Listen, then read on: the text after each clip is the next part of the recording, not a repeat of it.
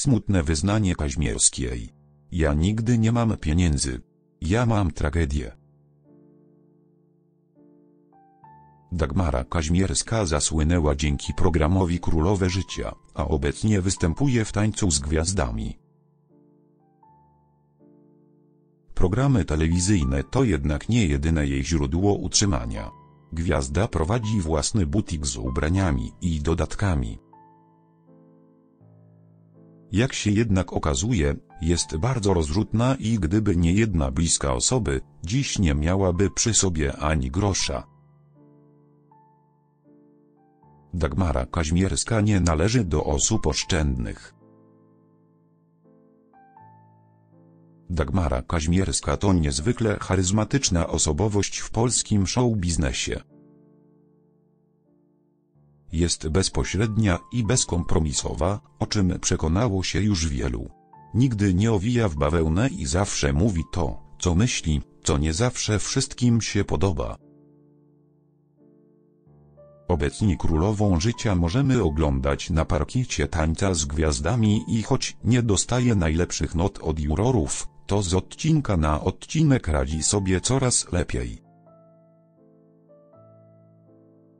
Widzowie wciąż stoją za nią murem, dzięki czemu w niedzielę zobaczymy ją w kolejnym, piątym już odcinku programu.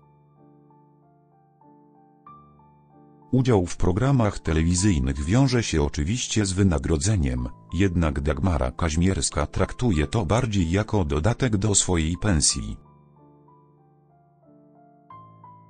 Od dawna prowadzi bowiem swój własny butik, a jej transmisje w sieci, podczas których sprzedaje ubrania i dodatki, to prawdziwy hit. Gwiazda nie ujawniła nigdy, ile zarabia, ale za to zawsze powtarza, że pieniądze zupełnie się jej nie trzymają i jest bardzo rozrzutna. Co ciekawe, uważa, że milion złotych to wcale nie są duże pieniądze. Gdyby nie jedna osoba, Kaźmierska byłaby bez grosza. W wywiadzie dla Jastrząb Post Dagmara Kaźmierska opowiedziała nieco więcej o swoim stosunku do pieniędzy.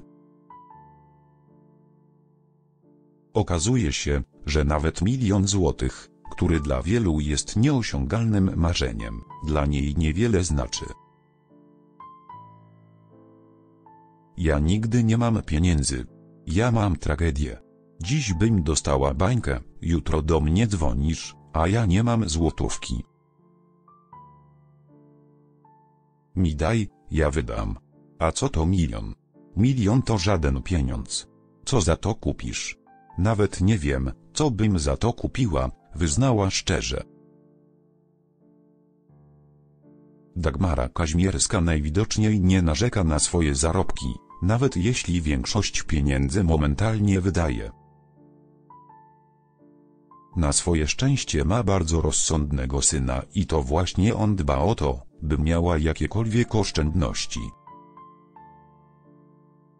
Zupełnie szczerze, ja do oszczędnych nie należę. Dobrze, że Konan trzyma nad wszystkim pieczę, bo może nieraz by tak było, że człowiek nie miałby na chleb.